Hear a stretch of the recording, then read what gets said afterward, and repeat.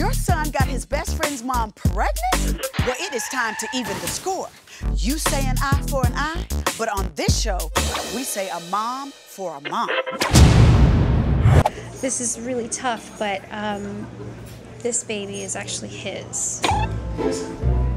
How do you even know it's yours? I have literally only slept with three people total outside of my marriage. He was the only one in the last year.